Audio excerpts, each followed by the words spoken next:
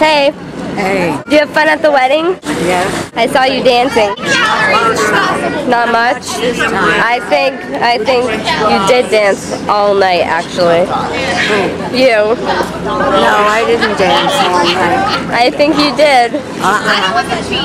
No. We'll have to see. We'll have to play back the video and watch. Yeah. You watch. I wasn't there all night. I gave up.